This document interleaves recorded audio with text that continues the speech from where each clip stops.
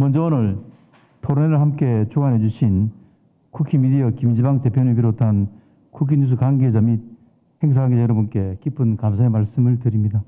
아울러 바쁘신 가운데도 오늘 좌장을 맡아주실 김석진 교수님과 발표회 엄기성 교수님 그리고 함께 토론해 주실 보건복지부 오창현 과장님과 심평원 약제기준부 김국희 부장님 한국환자단체연합회 안기종 대표님 그리고 자리를 빛내주시기에 참석해 주신 국민의 이준석 당대표님 김기현 원내대표님 비롯한 내기빈 여러분께 감사 인사를 드립니다.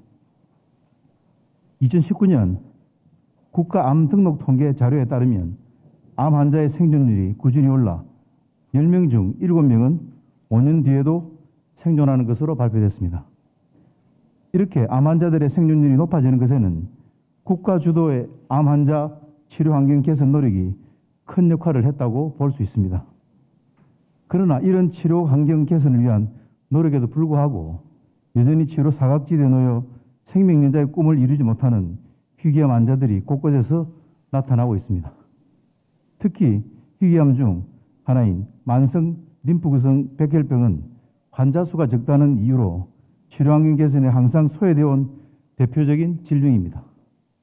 이 오늘 토론회는 만성 림프구성 백혈병 등과 같은 희귀암 환자들에 대한 조기 치료 해법을 마련하는데 매우 뜻깊은 시간이라고 생각합니다.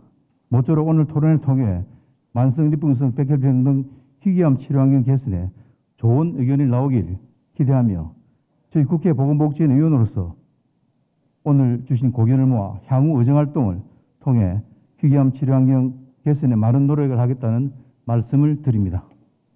다시 한번 바쁘신 와중에도 토론에 참석해 주신 내기민 여러분께 감사 인사를 드리며 항상 여러분의 가정에 평안과 행복이 가득하시길 기원합니다. 감사합니다.